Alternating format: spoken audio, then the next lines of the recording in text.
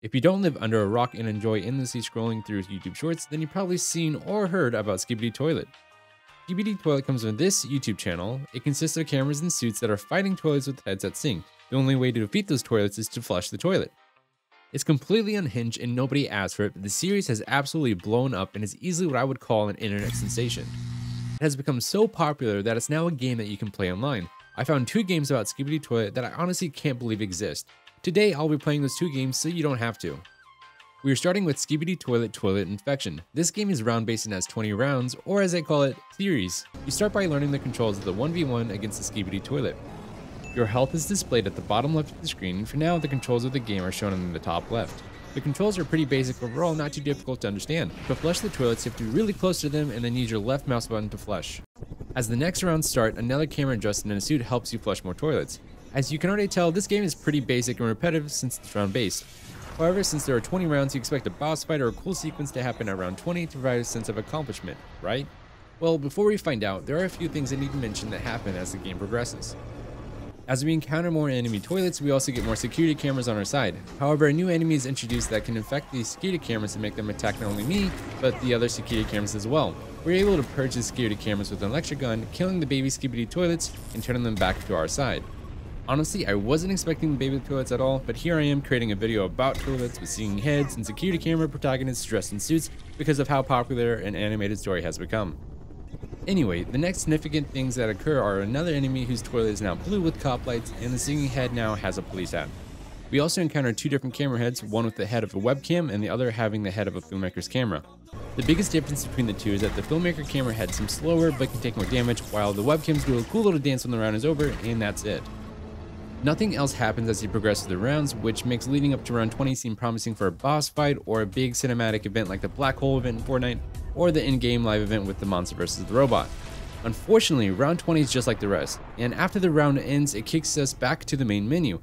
Very anticlimactic. I'm giving this game a 5 out of 10. Someone did take the time, patience, and skills to create this game, but it could be better if it led up to some sort of boss fight or cutscene. Now, the next game is called Skibidi Toilet Attack and Defense. Before we begin, I must say that this game is actually a lot of fun. I spent over an hour playing it. It's one of those games that feels like the old Flash games you could play, or a game you would play on your iPod. Yes, iPod, not the iPhone. It just feels nostalgic. Also, the background music is amazing.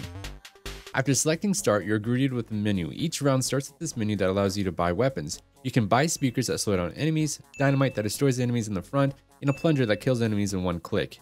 After selecting to battle, there's a health bar in the shape of a battery, a counter for the money you obtain for flushing the skibidi toilets, and a level progress bar at the top to show you how much of the level is left. It's very simple, but it's beautifully done in my opinion. The enemies move from the top of the screen to the bottom and you flush them by spamming your left mouse button. For each enemy you flush, you earn money. Again, it's a simple concept done well. Now you might easily dismiss it as boring or repetitive like the first game, but this game is different.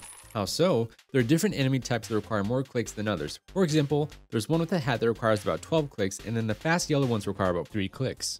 The cherry on top that makes the game so much better is the inclusion of boss fights. Every fifth round there's a boss fight that requires more and more clicks. These bosses are larger than the other Skibidi Toilets, and you get a sense of accomplishment each time you defeat one. Because there's a boss fight every fifth round, it keeps you playing and eager to see what the next boss is and how challenging it's going to be. I initially thought there were going to be 25 rounds based on the little graphic on the left side of the screen depicting a map that goes to 25. However, it actually goes up to 108 rounds, which is a lot. My arm was dead around level 25, I pushed on to level 35, and on level 36, I threw in the towel. Not because I was bored of the game, but because my index finger was so tired from clicking. The last thing about this game that makes it great is the fact that there's a survival mode with a leaderboard. To get first place, you simply have to survive the longest. It's simple, but it gives the player something to work towards. Out of the two games, Skibidi Toilet Attack and Defense was definitely my favorite. I enjoyed how simple everything was in the addition of the boss fights. The overall design of the game reminded me of something from my childhood and was very nostalgic to me. Let me know what you guys think down below in the comments and if you will be playing these games or not. I know I said I played it so you didn't have to, but sometimes it's better to try things out for yourselves. If you watched the end of the video, go ahead and subscribe. I would appreciate it and give it a like too. As always, I'm not Myo and I'll see you guys in the next one.